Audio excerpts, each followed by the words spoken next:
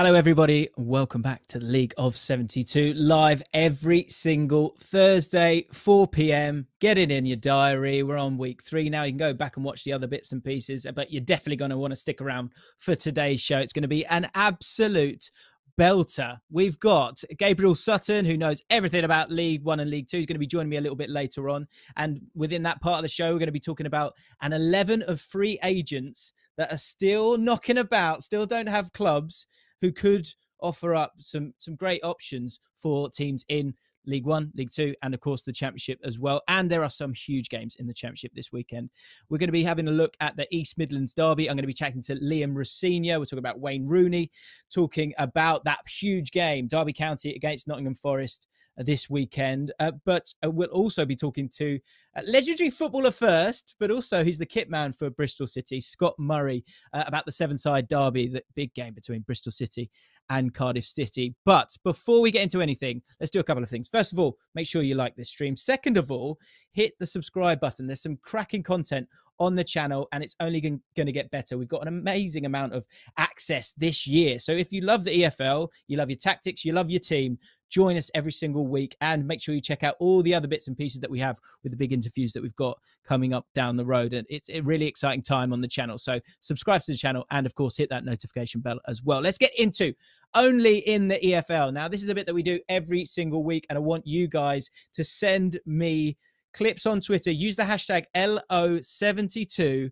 when you see some interesting bits and pieces that could only happen in the EFL. So, first up, we're going to have a look at uh, this Sunderland owners who are walking around like they, they own the place at the moment. Uh, Kyril Louis Dreyfus, of course, the new owner. Now, this is a, an incredible flex for me because they brought their dogs to the games. Now, they're not, bre- I mean, are they breaking the rules? Are they not breaking the rules? Let me know. Also, can you really get angry? Like, you know, if, when you look at it, you see they're incredibly beautiful, adorable little puppies there. So it's, a, it's an interesting flex here. It's clever but I think you've got to be winning games. Fortunately, they got nine points from the first four games, so everything's fine. You can bring your puppy to work. But if you start losing games, then that could be a dangerous world to, to be living in. The second bit that I want to show you, only in the FL, this is great from me. You know, I, I'm, going to pat myself on the back here because I'm quite proud of this one. This is from the Blackburn Rovers versus West Brom game. And uh, Alex Mowatt scores a goal. But before that, I want to talk about Thomas Kaminski, the goalkeeper for Blackburn. It's right at the start of the game, and he, he produces a cardinal sin here. Great save, great save. But he celebrates. Watch this. He celebrates because no one's getting the ball past me today, not this afternoon. And then Alex Mowatt goes and does that. I spotted that. I didn't see that anywhere else on Twitter. But Thomas Kaminski, just just wait a second. Do you know what I mean? Just wait because you never know when Alex Mowatt's going to score an absolute screamer, which of course he did there. Sticking with goalkeepers uh, to round up only in the EFL uh, this week. Pontus Dahlberg, uh, Will Brazier, wonderful host last week. He was going going in hard on, on Dahlberg, uh, who's on loan from Watford for having a nightmare against Accrington. But last week, saved a penalty, numerous different saves as well. Look at that. That is world class. And he got them their first point of the season, which they really, really needed. What a save from the penalty as well. So, redemption for Dahlberg. Lovely to see. So, as I said, guys, if you see anything out there this weekend, make sure you let me know using the hashtag LO72, and we'll give you a shout out next week on the show if you spot something decent. Right, let's get into some of these huge games. Let's kick off with the championship and the Severnside derby. And um, we've got a very special guest, someone who's He's got some history with Cardiff City. Scott Murray joins me right now. Scott Murray played 255 games, I've got here, 49 goals. Is that right, Scott? You probably know better than me. That, that must just be league games, I think. so just, yeah, yeah, we get close to the thousand mark, mate. Uh, I think no, I think I, I think, very... I think altogether that was sorry, about sorry, four, just under just under four fifty. So I think. Oh wow! Uh, okay, right. I'm, I'm, gonna have a word with. I'm gonna have a word with Wikipedia. Right massively. And yeah, not good enough. Uh, no, no, I'd say, as I said, I've a great, I had a great time here and loved every single minute of it. Absolutely, so much so that you, you, you stuck around. You know, you, are the kit man for, for Bristol City, which I want to dive into all of that because I'm sure you got some amazing kind of insights and stories uh, on all of that. Uh, but first of all, let's talk about your history with this game. First of all, for, for someone who I, I wasn't that aware of, of Cardiff and Bristol City being such a huge game, but it really is, isn't it? Yeah, I think um, Bristol and, and Wales literally next door to each other. I think it's a it's a 45 minute drive. I think just over the the Severn Bridge. I think uh, the good thing is now you don't have to pay to go over to Wales, which is handy. I think, um, as I said, it's and it's it's a very very fiercely contested derby. I think I think the old Ninian Park and was was always a very hostile place, and it's probably the same as Ashton Gate now. Before it before we got it all done up nicely, I think uh, the old stadiums and it was uh, it was fiercely contested. And as I said, um, it was never a nice place to go in Ninian Park, and as I said, um, we, we weren't very well liked over there. Yeah, well, you say that, Scott. There's a couple of reasons why you probably weren't liked there, and, and uh, you say it's a difficult place to go. I am not sure you're that bothered, to be honest, because there is an iconic goal, of course, that you scored in this fixture, which we're going to show now. So feel free to, to talk about it. I've got a few questions here as well. Here's your first. Yeah, so, this put is, someone on your back. one. Yeah, that's the first one. Yeah. That's Dean who, Gordon. Who did you put I, on the backside there? Dean Gordon. It was Dean Gordon. I think they just signed him on loan mm. from Middlesbrough, and I was actually the day before I was panicking because obviously he'd come from the Premier League, and as you said, within and this this second goal is literally a minute after, literally 60 seconds after wow. Dean Gordon again. And the keepers are a stinker. And, and as I said, I've run, run down. This the, is the moment, isn't it? Here it comes. The, whole Bob Bank. I find out it was called the Bob Bank, and it's for all Cardiff, um, the lively ones. And, and this is me trying to catch some money afterwards as well. They're chucking money at me. So I made a few quid wow. that day, that's for sure. I bet you did. Well, and I bet you got a few. You made a few quid in uh, in drinks down the, down the years after that for putting. How's I think they did save that. I know, yeah. And the, the, the, thing is, he was a Scottish international as well. So it says it all, really. Wow. But as I said, eh, no, no. Then the, the, celebrations probably saved me a few nights out. I think, and as I said, it's uh, it's it's a big derby down here, and and it's it, they're always uh, they're games that you always want to win derby games, and and as I said, it's even mm. taster this year because I think um, Cardiff got a few ex Bristol City lads in their, their ranks as well, and obviously big Aden Flint, who's who's a top scorer in the league as well. So it's it's going to be good fun. It is, yeah, and and that that iconic moment of you sort of holding your ear to the crowd, which is it's amazing, isn't it? It's it's something that football fans will have both missed the feeling and also gone, oh, oh I forgot about this when, when the player goes and does that. And that's an that is an iconic uh, image now, isn't it? You were telling me before when we came on air that that's you know that that's a huge flag that's shown in these kind of games, isn't it? Yeah. I think as well, you know, the, the, it all started by, um, I don't know if you remember, Andrew Jordan, Joe Jordan's son. I think he played at Bristol City and he was at Cardiff at the time. I think um, we were lining up in the tunnel literally 30 seconds before going out to the pitch. And, and um, Jock, as we called him, he's come up to me and goes, Scotty, listen, if you score today, tap your head, which I didn't know was yes. the infamous Ayatollah. So I think it's it's one of them. Cardiff players do it to their own fans. It's brilliant. But I think if uh, an opposing player does Sam it to Haman the Cardiff fans, yes, Sam Hammam, yeah, he always used to walk mm. around the stadium. And, and the funny thing was, in, in the tunnel, there was a big moose's head, a random moose head in the tunnel. And as I said, Jock's come up to me, he said, tap my head. So as, when I scored the first goal, I've tapped my head in front of the, the stand behind the goal. And, and it got a bit lively. And I was thinking, oh, wow. And as I said, I've scored literally 60 seconds after. So I've decided to tap my head in front of the Bob Bank, which was their head cases stand. Luckily, the good the good thing about mm. the Bob Bank, it, had fencing, so no one could actually get to me. well, there was no yeah, fencing. I'm not sure I'd be here now to, to chat about the goals. But as I said, yeah, I did yeah, the Just the loose change that came through. The, the, the change actually managed to pay for the bridge bridge fare home. Lovely. Well, there you go. so uh, let's talk about you being a, a kitman then with the, with this game as well, because I I find that what's it like being the other side of it? Because you know you are it's not understated. You are an absolute legend with Bristol City. So for you to come and, take that job, I, I guess it's I don't know. Do you, do you, do you love it? What what's what have you learned from being a, a kitman? Do you know what? I, I, remember getting the phone call from Derek McInnes. He's phoned me up, and I was um, I was working at the club in the commercial department at the time.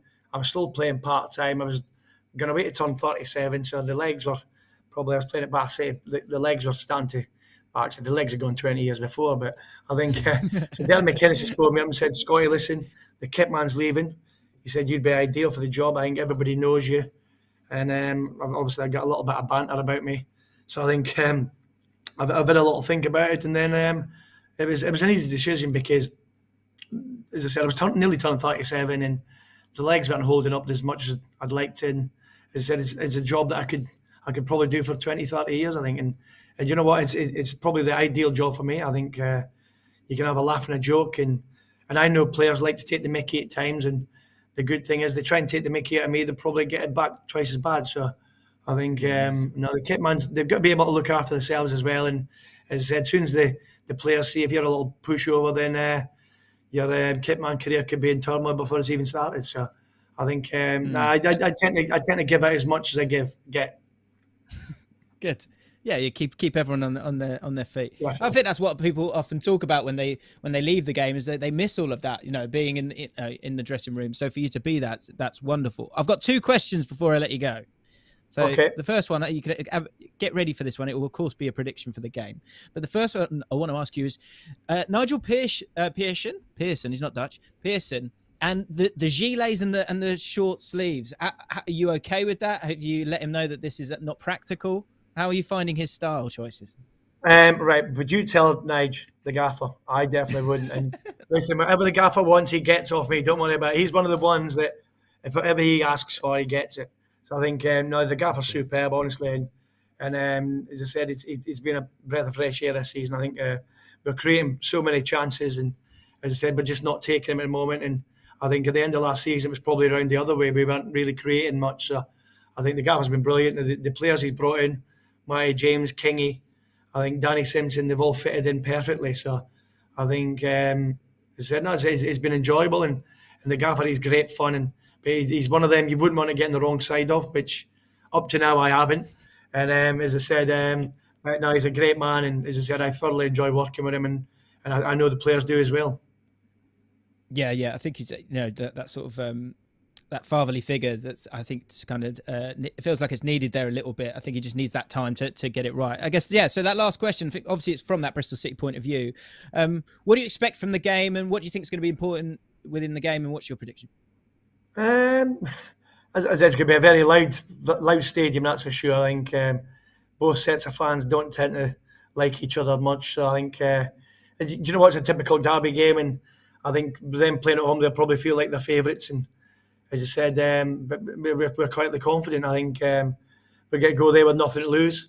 I think, which is usually which is usually a good thing. Even the the games we that back in the day when I played, we, we were always the underdog playing away to Cardiff. So it's actually quite nice. And and as I said, I'm I'm, I'm quietly confident for a, an away win. Okay, away win. I mean, yeah, I'm, I'm not surprised, and that, that's fine. And just in case Nigel walks in, I think that's the, the safe thing to say as well. Um, Scott, it's been an absolute joy to to chat to you. Um, you you were uh, often an enemy for me in my sort of in my teenage years as a Bristol City player, but it turns out you're all right. So uh, it's lovely yeah. to, to meet you, and uh, we'll have to get you on again. Thanks a lot for your time. Thank you very much for asking me on. Thank you very much. Good luck with the game, Scott. So, of course, there's two teams in this one. Uh, just a quick word on on Cardiff because I think there is this mix between a lot of young managers in the league, but then also um, you know the the elder statesmen. You know you got lots of warner mick mccarthy of course and nigel pearson are two of those. And i think the interesting thing is it's the, the average possession for both these teams are, are kind of similar. Um, it's around 44% to 48% but then cardiff are only managing 167 accurate passes and Bristol are averaging 251. I think Massengo is a really important player for for Bristol City. I thought he was great against Swansea last Friday, made three out of three successful dribbles, great on the ball as well, quite combative as well. But with Cardiff City, I think we know what we're we're going to see. We're going to see a lot of headers. You know, eight goals scored by headers this season. It's absolutely amazing, and it's coming from the centre backs. And for Bristol City, they've they've conceded uh, an xG of two so far from set pieces, which is sort of eighth worst which normally you go, okay, that's not maybe too big a deal. But I think for Cardiff, with the way that they're playing, the great delivery from from Giles as well, who's getting all those those assists. You've got Giles top of the um, assist uh, table, and then you've got Aden Flint top scorer in the league. It's absolutely outrageous what they're doing at the moment. Somehow their XG is actually still lower than West Brom's, which is 3.8. Little stat for you there. Um, by the way, on the channel, like I was saying, so much great content. One of those wonderful pieces of content are the top 10 goals between Cardiff City and Bristol City. And look, we showed you a goal from Bristol City. So let's show you just one quickly. This video is on the channel right now. After this live stream. Of course, go and watch it. But what a ball there from McCormack through to Chopner, Chopra, sorry, and he drills it in the bottom left-hand corner. Loads of great goals, and again, look, it's such a tasty game. It really, really is. It's going to be an absolute belter. Let's see it again. Look at that pass. Unbelievable stuff. Don't worry about that. Right, so that's on the channel. I know we are going to see it. There it is. And it's back. And it's there. Come on, we've got to see it now. Ah, oh, these things happen. These things happen. It's all good. Let's move on to the East Midlands Derby again in the Championship. Uh, Derby County versus Forest. Now, if you look at the league table, you'd be surprised by this because you know, Derby in 14th at the moment. Nottingham Forest rock bottom, losing all four games. This could not be bigger. I think within this game, the experience of Derby County, the likes of Jagielka and Davies, who have a combined 1,082 senior league appearances between the two of them, is going to be crucial. Derby County have only conceded three goals this season, have only scored three. So they are sort of building it on a possession based team, but also looking to just to be tight at the back. But it might be the problem this season as a whole that they might struggle to score goals with a few players out. Colin Kazim Richards, Jet Stretton's playing, Baldock um, struggling with injury at times as well. Um, but they're going to have to deal with the, the squad brilliantly. And it's down to two young coaches that are trying to keep Derby in this division. That's the remit this season for them. And fortunately, uh, earlier today, I was able to chat with Liam Rosenior. And, and once again, this entire uh, video, this entire uh, interview with Liam Rosenior is going to be on the channel any minute now. So it might even be on by the time we finish this stream. So again, we talk about all sorts, but we of course talk about Wayne Rooney and the relationship between the the two of them. Uh, here's a little clip of that uh, that interview between me and Liam Rosenior where we chat about Wayne Rooney in particular let's talk about that that relationship with with Wayne because it sounds like sounds like you're very ambitious uh, as a coach in terms of where you want to go with, with your career, and I, I can imagine that sometimes you know some some players that might have been in the the championship could maybe kind of get get beaten down and, and not sort of just sort of reach for the stars a little bit in terms of how you, how you want to play. But some of the names that you're talking about there you know Wayne Rooney is one of the greats of the game so, uh, how has it been, um, you know, working very closely to him uh, and getting to know Wayne Rooney, the the man and manager, yeah. aside from the the, the player? Because it, it, sounds like maybe he would, I would imagine, have high ambitions and um, and lofty expectations. And is that something you you've you've clicked on? And yeah, we've completely clicked. It's been pretty amazing because uh, at the time when Philip Cocu left the club, we were kind of put together um, obviously, I played against Wayne a lot in, in my own career and seen him from afar and what an outstanding player he was. And it's interesting because the closer that and, and the more time we spend together, the more we're working together every day, not just myself and him, but Justin, Jason Piercy, the goalkeeping coach. We're getting closer and closer. And what's been amazing is how aligned we are in our approach. We're quite different characters, but we believe in the same values. And, and that's something that hopefully we can build on in the future. I love working with Wayne. I think we complement each other really, really well. And I want to maximize um, his knowledge by learning from him. I've learned so much from him in a short space of time. And um, I think we work together quite well as a double act. Um, believe it or not, I'm actually the bad cop and he's the good cop. Um, so right, well, that's that's what just... I wanted to find out. I wanted to. Yeah, so no, you talk about Wayne... the characters of the two of you. What's your character and what's his character? Well, Wayne is someone who I don't think is given enough credit in terms of how intelligent he is actually as a person is is is standard of empathy understanding people which is a huge part of management and understanding of the game is on a whole nother level to what people give him credit for um, you cannot have the playing career in the different positions that wayne's had without that football intelligence but even more impressive than that when you work with him every day is his understanding of people he can read people really, really well. He knows how to get the best out of individuals. He knows how to give them confidence. And that's a huge part of his qualities that I've learned from him. You know, I'm quite an X's and O's coach. I love the game. I can talk about any every different philosophy or playing style or anything like that. But what Wayne gives me is a is an understanding of people, and I can help him on the on the training pitch in terms of my qualities as a football coach, and that's why we've worked really really well. Uh, but that wouldn't work if we didn't have the same values and our and our principles weren't aligned and our philosophy wasn't aligned. But somehow it it just so happens maybe the stars have aligned that we've got together because we actually do work really really well as a team and I, I love working with him every single day.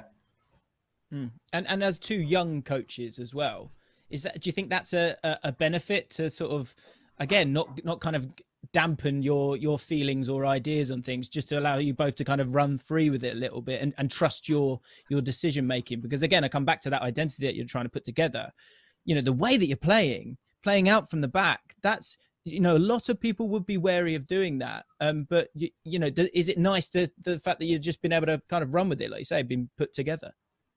Yeah, I think that's been the great thing. I think as a coach, if you're not authentic to what you believe in, you're not maximizing your abilities as a coach. Um, and and actually, I, am aware that people said when, when myself and Wayne took the job together that we were both very young, very inexperienced. But so was Pep Guardiola when he took over Barcelona. You know, so so what what we have is an empathy in terms of we both finished playing quite young um, and not long ago. So we have a real empathy with players. We know what it's like now to play in a modern game. We know about modern trends and the way the game is going. And for all the pundits that say the game hasn't changed, yeah, there are some parts of the game that haven't changed, but there's some where it is evolving. The game is evolving and changing. And I think to have myself and Wayne with his experience and his career and my experience, um, we're really confident that we can get the best out of this group and, and hopefully move this club forward. What an incredible talker he is. And uh, we also, of course, asked him about this big game uh, because you know, he played under Chris Hughton. So I was wondering if, if there's any kind of insider knowledge. Here's what he had to say about this huge, huge game this weekend against Nottingham Forest. Uh, let's let's look forward a little bit, not too far. Uh, let's just have a look to, to the game at the, the weekend, the East Midlands Derby. Mm. You know, a huge, huge game for, for everyone involved. And I think going into it, I think you know a lot of us uh, would have would have thought, well, Forest is this going to be the year that they start to kind of make that push? They've had a real struggle so far. I know you've you know you, you've got a lot of memories, I presume, with with the manager there, Chris Hughton. Um, what's um what do you expect from? You know, from this Nottingham Forest side, having been someone who's who's worked with Chris Hughton? Yeah, I expect them to be super organised. I expect every single player to know their jobs and roles within the team because that's what Chris did uh, with myself at Brighton, and that's what he's done wherever he's been, whether that's been Newcastle or Birmingham. Chris is an outstanding manager and an outstanding coach in his own right, and um, it's going to be a really, really difficult game. You know, at the start of the season it's a form table. So if you lose three or four games in a row in January, February, no one speaks about as much. But because it's the start of the season, a lot of it's made out. A lot is made out of that situation. Um, I know they're trying to recruit players and get players in, um, but the focus for us is to win the game on Saturday, and we are under no illusions whatsoever about what difficult game it's been. You know, we've, we've analysed their games. They've been unfortunate in every game they've played. They've they haven't lost by more than one goal. So we know it's going to be a game of tight margins and, and hopefully one we can come out on top of. Yeah, and and these derby games, you know, last year I think they, you know, they just weren't as exciting because of course it's we not the same. You need the, you, through a screen. Yeah, you need the fans in. I can't wait. You know, it's um, it's something that I'm really, really looking forward to. Um, it's the first time actually since I've been at the club uh, where we played Forest at home in front of a crowd. Um, so I'm really, really looking forward to it. I think the fans have been outstanding with us so far this season, um, and we're giving them everything we can. And if they can be the extra man on the pitch for us on, on Saturday, it's going to make a huge difference. And um, but I can't wait. It's going to be a great occasion, and um, yeah, hopefully it's a really, really exciting game between between two good footballing teams. No doubt, no doubt at all in my mind that this is going to be incredibly tense affair because Forest have been struggling to score goals. Derby have struggled to score goals as well. And when it comes to Chris Hughton, of course, they made a change not in Forest last season, but Chris Hughton needs that time. You know he's going to be an organised coach, and you know sometimes that might feel like it's a touch boring for want of a better word. But I think if you can create that kind of base and maybe just get a victory in a game like today, it could really change everything for them. But they've got to create more. Brennan Johnson, massive miss for them in the game against Stoke City, where they didn't do really anything at all. Philip Zinckernagel, I think, is one of those players that could be that spark for them. You know, they only had two shots uh, in the game against Stoke City. Uh, he's got himself a goal and assist so far this uh, season. But again, his average positions against Stoke, he was too close to Lyle Taylor. And I think maybe Lyle Taylor needs to stay a little bit um, further up and central, and maybe that could help them. He can get involved with João Carvalho, but they've got to start scoring goals if they want to win games. It's really as simple as that, and and it could start this weekend. Uh, we we want to allow you the top ten goals for um, Forest and Derby, just like we did Bristol City and Cardiff City. So there is a goal, and I know Forest fans, you haven't seen a goal for a while, so here's one for you, and it was an absolute peach from Ben Osborne, injury time winner, 2 1 away at Derby back in 2014 15. The commentary on this is wonderful as well, right at the last minute, and he just drills it. That video is also on the channel right now. Quality content again and again and again and again. Amazing stuff. There's some absolute screams there. Stuart Pearce. There's been one or two managers, hasn't there, at Forest? I really do think Chris Hughton is the guy that we need to kind of stick with here. But yeah, what a strike from here, Ben Osborne. He's asking him to through the legs. Happy days. And poor Derby County. Is that Richard Keogh? I think he's had that moment before late in the game. But uh, let's not get into that for now. Uh, let's have a look at a bit of a roundup of the championship results if you don't remember them from last season. Before we move on to League One and League Two, um, my beloved Queen's Park Rangers came back from 2 2, still unbeaten at the top of the table. It's, it is Fulham and West Brom really starting to sort of take hold now. Two teams that I did want to quickly touch on Coventry.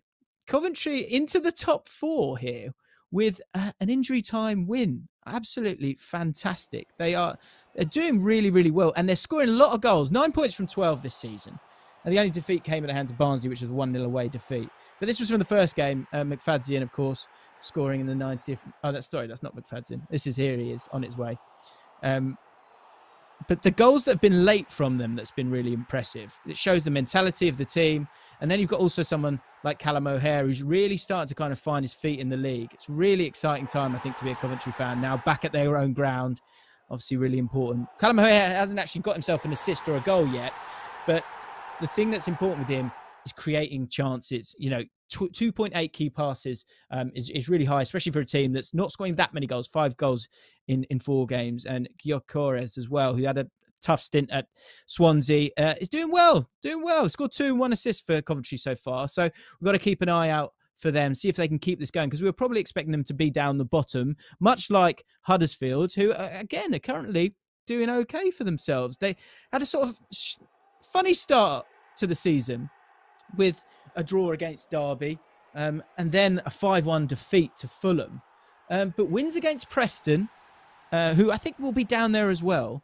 And then this uh, victory at the weekend, Kamara uh, getting a goal to get them going. But it looked like all was lost again, which is what teams down the bottom, or a team who you think might be down the bottom, they often concede goals late. But actually, it was the opposite. Levi Colwill, I don't know what he's even doing up there he's the centre back, of course, on loan from Chelsea, scored a goal after the equaliser from Billy Sharp. So Sorba Thomas, another interesting player there for them, came from Boreham Wood, so you wouldn't expect him to pull up trees, but three man of the match performances from him so far this season. So another name to keep an eye out, Sorba Thomas. Uh, and if they can win the next one against Reading, then I think they can sort of get that momentum for, for a team that we thought with Carlos Corberán might struggle a little bit this season.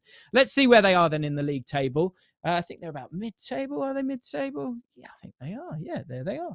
Um, doing pretty well for themselves. I think they can be happy with that. Um, Fulham and West Brom start to assert their dominance, and Stoke City, what a cracking start for them as well. And oh yeah, look, Queens Park Rangers in fifth. Uh, which we're well happy about. Hopefully, we can beat Coventry this weekend. Uh, let's move in to League One um, because I think again we need to sort of take stock of the, the, the game so far. It is just a form table at this moment in time, but if we do have a look at the, the league table, you can see that Sheffield Wednesday and Wycombe off to a, a, cracking start. Sheffield Wednesday not conceding many goals at all at the moment, but we're going to kind of look down the bottom of the table here, starting off with Charlton. Um, interesting times for Charlton, and I've got a massive pinch of salt with Charlton because I think Charlton fans will start to get a little bit nervous in what is a very difficult League One um, division. But they are conceding a lot of goals at the moment. A lot of um, games where they're conceding two goals, but they are against very difficult teams. I think Oxford will be, you know, in the top half of the table. MK Dons will be in the top half of the table. You know, Wigan with their latest defeat, Sheffield Wednesday opening game of the season. But the problem for them is scoring goals. Uh, you know, they've only scored twice in their opening two games. These, even this last game, you've got James McClean, who's gone back to Wigan both of those goals were quite late on for them in this one. And Wigan will be right up there, who've also had a really tough run, but have been able to get the goals. I think you've got to stick with Nigel Adkins there. I think he'll, he'll, he'll find a way. You know, Charlie Kirk, Jayden Stockley, uh, Diallang Jaiyesimi, all players that should work well together, but it just doesn't seem to be happening at the moment. And they only created one big chance in that game against Wigan, so they need to need to sort of arrest that. Uh, and hopefully they can do that this weekend. I think that it's a winnable game this weekend, Crewe Alexandra. So they've got a real chance there. Moving on to Fleetwood Town, who hadn't won a game yet. It was a game of late drama against Cheltenham. And uh, they, uh, Cheltenham are a very difficult team to, to play against this season. I think they'll be absolutely fine. Um, but for Fleetwood, they really, really needed this. Simon Grayson's uh, men needed uh, to get themselves back into it. And to win a game like this when it is so tight, it was one where it looked like they, they were there, they were over the line. And then Alfie May scored for Cheltenham I think this is him here wheeling away, and it looked like that was going to be it, 87th minute. But Shayden Morris, who's looking like a, a really exciting player for them, I mean, he couldn't miss, could he? But 90th minute winner for the COD Army. Simon Grayson gets himself um, a a win, which is so important. So I think I think Cheltenham will be fine. But I think we just wanted to touch on Fleetwood there because they've got some, you know, players who should be solid in the division, and they should be absolutely fine. And finally, Plymouth fans, you're not going to like this because really this should be glorious. You won 3 0 against Shrewsbury Town. But I'm actually going to say, Shrewsbury, don't get too downhearted about this. Yes, it was a 3 0 defeat. I think the two, the front two for Plymouth are looking like a right pair. They're playing in that 3 5 2. Ryan Lowe seems to trust those two to score the goals for them. But if you look at how the game panned out and how Shrewsbury are, getting on this season, they've conceded seven goals, which is joint's second most. But the, the XG that they've conceded so far this season is 3.4. So I think if they take a second, even in that game, I think they had 16 shots. Plymouth only had eight. Plymouth only actually created one big chance and still scored three goals. So quite a misleading 3 0 for them. And I, think Shrewsbury, Shrewsbury will will find their feet uh, once again as well. But like I say, it is so up for grabs. If you think I'm wrong, of course, let me know uh, what you think. Let's have a look at um, at that table once again, just to see where where Shrewsbury are, uh, if we can do. Shrewsbury right at the bottom at the moment uh, this weekend. Fleetwood with that win that gets them out of it. Rotherham, I'm a little bit disappointed in them. I've got to be honest, but they've had some tricky games to start with as well. But it is going to get super super congested. And a shout out to Accrington Stanley, who lost that first game of the season to Wimbledon and have come back incredibly strong and Burton Albion as well, doing fantastic stuff in League One. Right, I've got myself another guest, and he, God, he's gorgeous. He's lovely. It's Gabriel Sutton. Gabriel is going to join me now, and we're going to take a look. Hello, Gabriel. Oh, he's blushing. He's blushing. We're going to have a look at an EFL free agent 11. Now, we've put, together players who are obviously out of contract. They're available right now because it is the final week of you know the transfer window. So we put together a 4-4-2, incredibly British. And what I want Gabriel to do is help me along the way and pick a goalkeeper or one of the defenders, a midfielder, and then a striker as we make our way through uh, this list of players that are all available. Go and get them, guys. And all of it, there's some names in here, Gabriel. I'm absolutely amazed haven't been picked up yet. Is this is this slightly different to other seasons in terms of the amount of free agents that seem to be out there? I think so. Uh, I think there's been some clubs that have been reluctant to make big uh, financial commitments at this stage because of the climate that we've uh, that we've been in recently. Of, of course, it's great to have fans back, but I do think that maybe there is that doubt. Maybe clubs aren't in a position to put push the boat out and and give players the wages that maybe they feel they uh, they deserve. So I think that might be why we're seeing a lot of a lot of players without uh, without a club. But hopefully that can be mm. rectified. Mm. That's it. Yeah, we're we we we're expecting. Um, uh, we're going to split it. I think seven seven and a half percent each. Me and Gabriel want a cut from any deals that are done from this eleven. Let's dive into it. We're going to kick off with the goalkeeper and the four defenders here, and I'm going to race through them. It's going to be incredibly hectic, but exciting as well. Um, so just to read them out: Jamal Blackman, Ahmed Elmohamady, David Wheater, Scott Dann, Neil Taylor. Jamal Blackman, first and foremost. Chelsea goalkeeper who was on loan eight times. He was at Rotherham incredibly recently. Uh, Wycombe, yeah. Sheffield Wednesday. He's had. Uh, he's an old-fashioned goalkeeper. I think he'll do well in a, a, League One team or a lower Championship team. He's played both levels. Um, a team that springs to mind uh, for me, uh, Gabriel. I think Plymouth might work for him. They've only got two senior goalkeepers at the moment. Right back, we're going to go with Elmohamady. Obviously, this will be for a championship club that's maybe got a bit of money to kind of pop in the wages. There's a few Villa players in this list. Um, 14 appearances and eight starts last season in the Premier League. His last EFL season, he had nine goal contributions, two goals, and seven assists. And so this might be one for Scott Murray's Bristol City under Nigel Pearson. They've got Danny Simpson as their right back, 34 himself. So maybe you get both of those in. You've got one who's a bit more an attacking option in Elmohamady, and then uh, Danny Simpson, who could, you know, maybe against those teams where you want to sort of shut up shop a little bit more. But it's it's mad that he's he's not got a team just yet. The next player is a player that I think is one of your favourites on this list, David Wheater, mm. um, someone who's had he's had a tricky time last season, but of course he was playing in the championship uh, as in 2019. You know what you're going to get with him.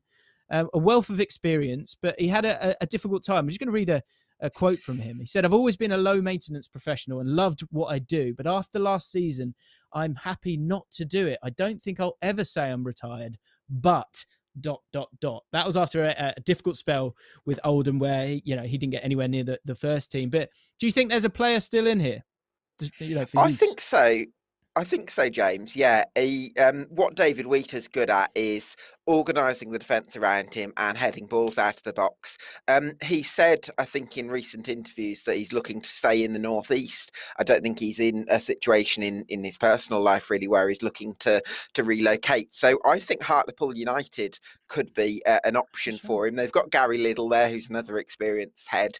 Um, but I think as a rotation option, I think they could do a lot worse than somebody like uh, David Wheater because uh, Dave Challinor, of course, plays a 3 5 2 formation with wide centre backs. Mm. So that means he won't get caught out in wide areas and can just stick to what he's good at, really. That's an incredible show. Yeah, great show. I was saying someone another newly promoted team, maybe Sutton might be a, uh, another one where you can add that experience. But that's yeah, you're right with that three five two. That's a lovely little fit there. Great shout. That's why we that's why we've got him on, guys. Stuff like that. Right, we carry on. Another centre back, Scott Dann. Um, I mean, again, what a player! I'm amazed he's not even uh, he's he's not been snapped up straight away. You know, Tim Cahill vibes here. I think Nottingham Forest could be a really good shout for him. You know, they're a little bit hmm. light Worrall, and so not available at the moment in terms of the centre back. So I think he could be a, a shout for them there. Over to left back, Neil Taylor, another Aston Villa player. He's a player with over 100 appearances in the Premier League. Um, He's also got that sprinkle of, uh, of, of playing in the Europa League. He's been all over the place, and I think the interesting thing with me, a little stat on not stat really, uh, new development. I guess he's got his A license for his coaching, so he could be maybe a, a good option for maybe like a Stoke City goes there is is a, a good uh, backup for them there, but also someone who maybe wants to get his coaching badges uh, and work his way through. We're going to keep going here, Gabriel. Get yourself ready to give us your midfield pick. Here are the midfielders, guys if you're watching at home uh, here they come.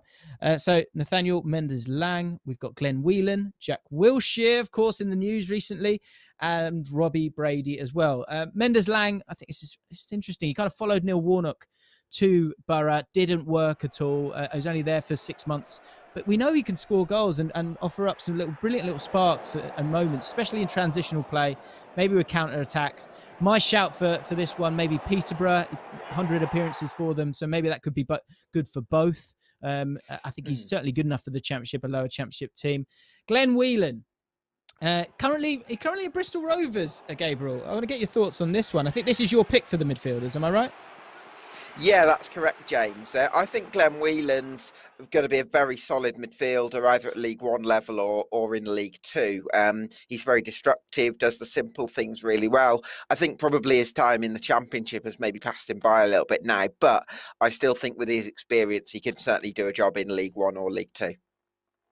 Yes, I, I, couldn't agree more. I think, yeah, maybe being that metronome. He's never really had the legs. He's always been the guy who kind of sees it, reads the play, and plays mm. it sideways. And so maybe maybe Bristol Rovers could be a good fit with him. Joe Barton needs to get something going there, so maybe he can uh, bring that to them. Someone who's also cracking on the ball, Jack Wilshere. Looks like Wigan are in for him at the moment. The uh, the owner of Wigan has put out a tweet. We were chatting about it earlier, weren't we, Gabriel? It looks like he's offered him a, a place there. I'd just love to see him at, at maybe like a team like Swansea, where maybe he's not got that physicality, but he would. He's always so comfortable on the ball, and I think he could do a, a, a job there. But if he does go to Wigan, that's a packed midfield they'd have. Yeah, absolutely, James. Um, I think this is the thing about Jack Wilshere. Like when he came through, he was perceived as a, a world class talent uh, at Arsenal. Hasn't quite worked out for him, but I think in the EFL, there's every possibility that he can do damage. It's funny you mention Wigan because um, they've had Nick Powell before, and uh, I suppose you might say it's mm. not a dissimilar story with him. And, and when he was playing for Wigan a couple of years ago in League One, he sort of was the best player in the league by far. So um, yeah, that, that's an interesting one for me, and I think Wilshere could be a great signing, um, certainly for the Championship, and even more so for League One. Totally. There's, I mean, there's real Barry Bannan vibes if, if he does go to, to League One because you can play as a six, an eight, or a ten, and and played. You know, mm. didn't play badly at Bournemouth. He wasn't bad at Bournemouth. He, he offered something no. different. On that left hand side, we've got Robbie Brady. Uh, Robbie Brady. I mean, arguably, still a Premier League player, really. Um, And so I think if he goes to a championship team, that deep down he's going to want to play. He's got, but it's got to be the right role for him. So maybe a left wing back role. Maybe West Brom might want him. He's got that energy. I know Conor Townsend's been great, and you, have got somewhere, you've got some long throws for both those sides of Conor Townsend and of course Darnell Furlong on the other side. So maybe maybe wouldn't start there. So maybe that wouldn't work. But if you brought in someone like Robbie Brady, you've got someone who would be ready for the Premier League if you do bounce back, which is of course the aim for West Brom from. So I think Robbie Brady's probably one of the most talented players on this list. Although we're going to our strikers now, and there's there's one hell of a name still to talk about. Uh, let's have a look at our strikers then. Work hard, play hard. Nicky Maynard, there he is, and Daniel Sturridge. Um, let's let's talk about uh, your pick first, which is uh, of course Nicky Maynard. Daniel Sturridge shunned again by Gabriel Sutton. Um, you know, scored that dramatic winner against Forest Green Rovers last year. Was generally was was great for them. Um, I was surprised they didn't retain him. Were you? Is this an age thing, or just they were able to get better, better options? It's very interesting one, James. I think we're seeing uh, a theme uh, across the game, really, where um, really good goal scorers aren't necessarily uh, in fashion. So Nicky Maynard scored lots of goals. I think he was top scorer in League One, in League Two, sorry, in the 18-19 campaign. But that was for a very side that played with this really expansive 3-5-2 system under Ryan Lowe, where he was going to create, had loads of chance creating for him. He had a, a really energetic strike partner, and everything just kind of worked for him him. Um, I think if there's a team in League Two that has that kind of system, you know that Nicky Maynard, you can just pop him in and he'll score sort of 20 to 30 goals because that's the kind of finisher he is. I think the key is just mm. building a system that that works for him because I'm not convinced about other areas of his game, but in terms of someone that can just snuff out chances, he's one of the best in the business at this level. Absolutely, yeah. You know, a team that scored a lot of goals last year somehow is really struggling with it this year. Oldham only scored two league goals this season, which is joint lowest. So maybe that could be an option where you need, you know, yes, you you've got to carry him somewhat, but you've got yourself a poacher there. You know, similar to my club. I think Charlie Austin does that a lot of the time. It's so much better when he's got someone with him, and it's worth its weight in gold mm. when you've got a goal scorer like that, especially uh, you know in in League Two. So it'd be interesting to see if he can get himself a, a team at, at any point. And finally, Daniel Sturridge. So Daniel Sturridge, who is uh, without a club since leaving Trabzonspor in 2020, uh, could definitely offer something at championship level. I mean, as shown by that goal. If Danny Ings can do it, Daniel Sturridge can do it. I mean, uh, and we want to see that celebration, of course, once again. Um, Daniel Sturridge, of course, will divide opinion. I was listening to a podcast actually with him recently, and he's, you know, he still has real ambition to, to you know, to be to be playing football. You know, he's not a player who's just you know has forgotten about playing it's just he's just had a tough time a bit like jack wilshere. And i think we you know talking about earlier in the show uh, sorry in, in my interview with liam Rosenior, which you can see on the channel about ravel morrison and just finding a home sometimes. I think the same could be for for daniel sturridge and maybe someone like blackburn who've lost adam armstrong lost a lot of goals there would maybe maybe daniel sturridge might be, uh, uh, be a great reinforcement there because they do feel a little bit light up top yeah, quite possibly. Um, I think with uh, with Blackburn Rovers, Adam Armstrong was such uh, a massive influence there. He was such a uh, a big finisher, and they didn't actually have that many goals from from midfield last time out. And you're not quite sure where the goals are going to come from this season, although they've had a steady start. It's mainly come from sort of pressing and, and transition. So I think having a clinical centre forward like Daniel Sturridge, um, I think that would be massive for them. Whether they could afford the wages, uh, I'm not so sure. Yes, yeah, I guess wages might be the stumbling block, but you know, it gets to a point, doesn't it, where you know beggars can't be choosers, for want of a better phrase. And you know, if he wants to play football, I think uh, going to the championship is a wonderful place to then create a springboard again. And you know, he's got to go and prove it again. So maybe a championship club would would be good for him. You know, if he does want to play for free, Queens Park Rangers are available. Um, so guys, what do you think? Is there anyone that we've missed on this list? Let us know. Um, and who out of these guys would you go for? Um, to as a pick for your club? And tell us the club as well, because I'd love to know. Because it'd be interesting to see how many of these players are snapped up between now and the end of the transfer deadline. I guess the, the caveat with all of this is they are free agents, so you know they could they could still sign up at at any moment. Um, so that's a that's League One and a free agents has got a little smattering of everything. Let's dive into League Two, shall we, Gabriel? Because if we have a look at the results from last week, um, interesting times here. And again, I think as each game goes by, the picture is being painted. Um, and just from those results, Gabriel, any anything that really, really stood out? I mean, there's there's certainly that that Forest Green Rovers is, is they are really putting a mark down, aren't they? Oh, they absolutely are, James. Um, six three. It was uh, what an incredible game, and the amazing thing is, Nicky Cadden scored a hat trick in that match, and he's a left wing back. And I think I've, I've had a look through this as well. I think it's incredibly rare that a wingback scores a hat trick. The only examples that I've uh, come up with outside the EFL trophy has been um, Layvin Kurzawa scoring a hat trick for PSG in the Champions League once, and I believe Andy Little wow. did it for Rangers once. But that, it's incredibly rare scenario. So well done to Nick, Nicky Cadden. Yeah, uh, and well, yeah, to Rob Edwards as well. Ten goals. The next best is five with with Rochdale. And and if we ever look at those results, just one last time, because there was a game in midweek, of course. Um, and Harrogate have uh, had to have a couple of games um, postponed, problems with with COVID, getting a two 0 victory away at Leyton Orient. We can show you some of the some of the footage from the game uh, now. Um, it was Harrogate's first match after a two week layoff due to that COVID outbreak. Um, so forgive them for being a little bit rusty. However, they had nothing to worry about, and it's three games now. They've won all three. Went 2 0 up inside hmm. 31 minutes, thanks to a brace from Luke Armstrong, who, who had a cracker game for them, didn't he? It was a real sort of big man up top for them. They're a, they're a, they're a really you can trust Harrogate. I, I find from the, the, the, stuff that I've seen about them, they are you know what you're going to get last season. Well, we didn't know what they, we were going to get last season from, from, them, but they really did impress us. And this year, carrying off in, in the exact same vein. exciting times, isn't it? Absolutely, James. And what I love about Harrogate is they've got a really stable squad because they've got a core of players that have been with them for a long time, possibly even going back to their uh, National League North days. Uh, so you can see that there's a, real synergy about the group. And I think what uh, what Simon Weaver's done this summer is uh, is just adding little bits, little snippets of quality on top of that. So Luke Armstrong seems to have bulked up since his last stint in the EFL. Had a great season the year before at Hartlepool. Um, some really scruffy finishes, which I love. Um, you know, getting in that six yard box. Uh, so really well done to him. And of course, Mark Oxley, the goalkeeper as well, has had a fantastic start for them. Harrogate fans were singing their name, his name on on Tuesday night. So they recruited well, and they've got a stable squad.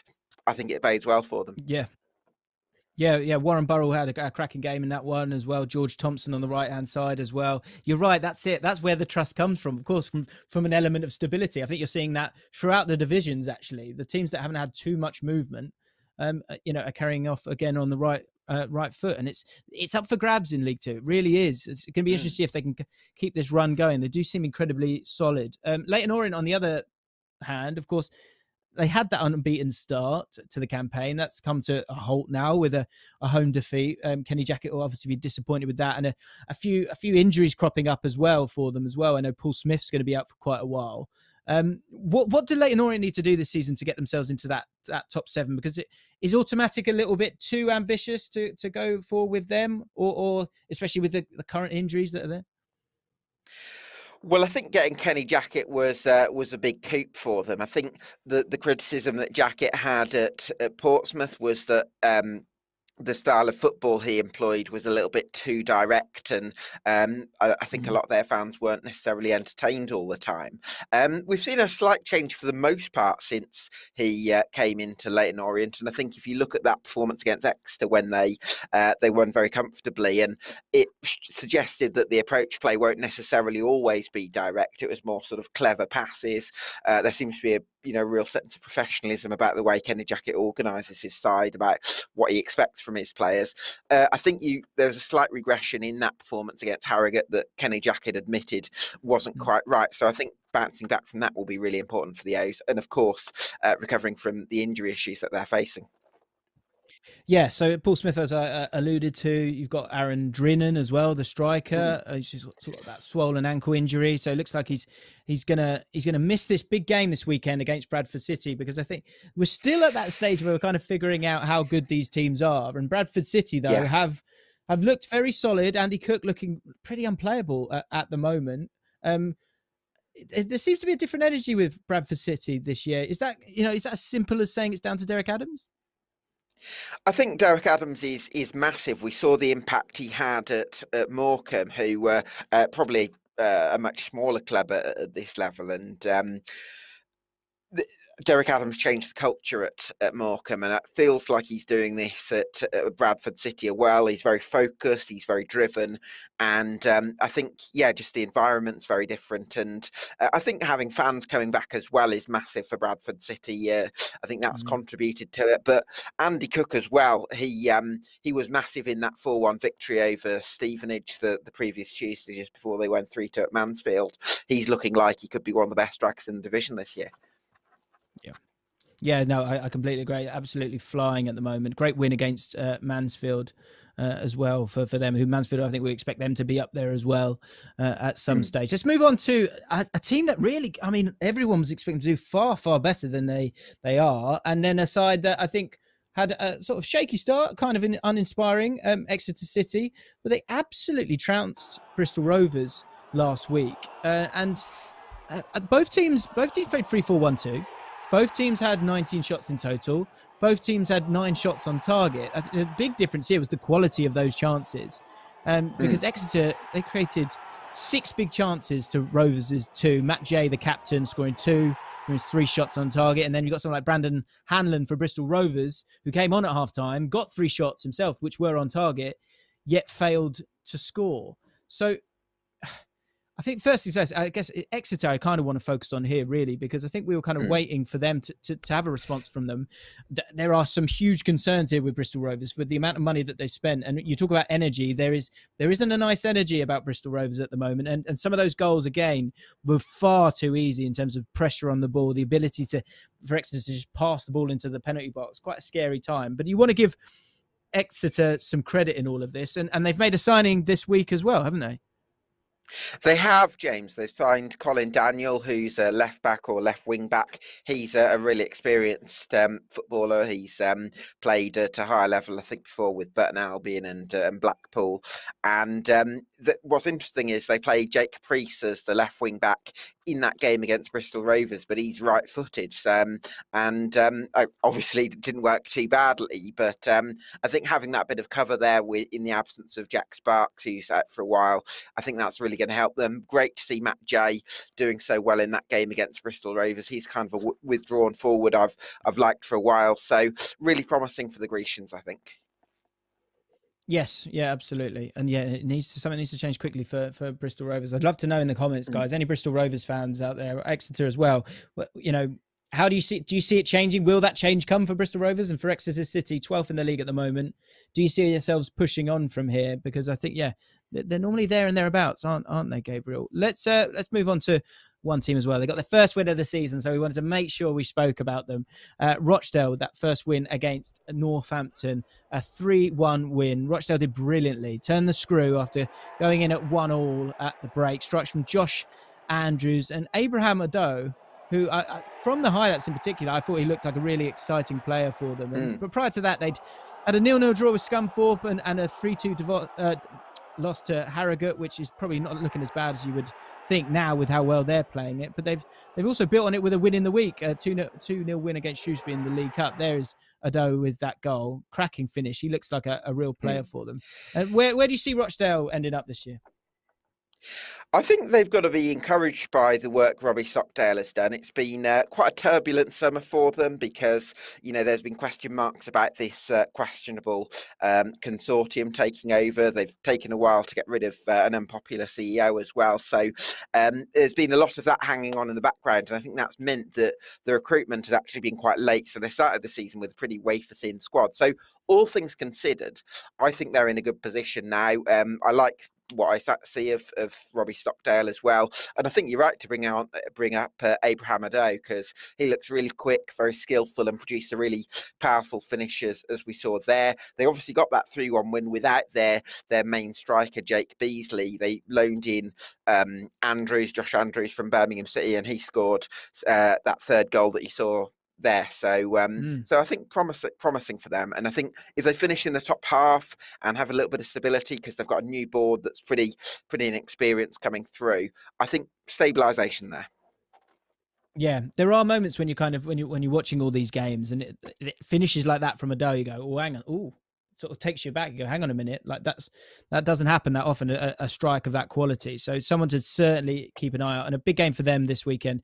Um, they take on 13th placed Colchester, so this will be a good good barometer to kind of see where where they are at in in terms of the other teams. Colchester sort of very hit and miss so far this season, so it'll be interesting. Let's have a look at that league table then, uh, just before we have a look at all the fixtures um, this week. Is there one team in there, Gabriel, who you're you're surprised they've done so well or so badly? I think a lot of people are surprised that Hartlepool United have um, are in the top seven at this stage. I think um, when I asked League Two followers for their predictions. I think a lot of people had them going down with with Scunthorpe because a lot of people were concerned about the 50 day back day back gap, excuse me, between uh, winning the playoff final and starting the season against Crawley. And uh, there's mm. been a few areas that they needed to uh, to address in the market as well. But so yeah, so I think to, to produce two good home performances in the league, I think speaks uh, speaks volumes for the work that Dave Challinor is doing there.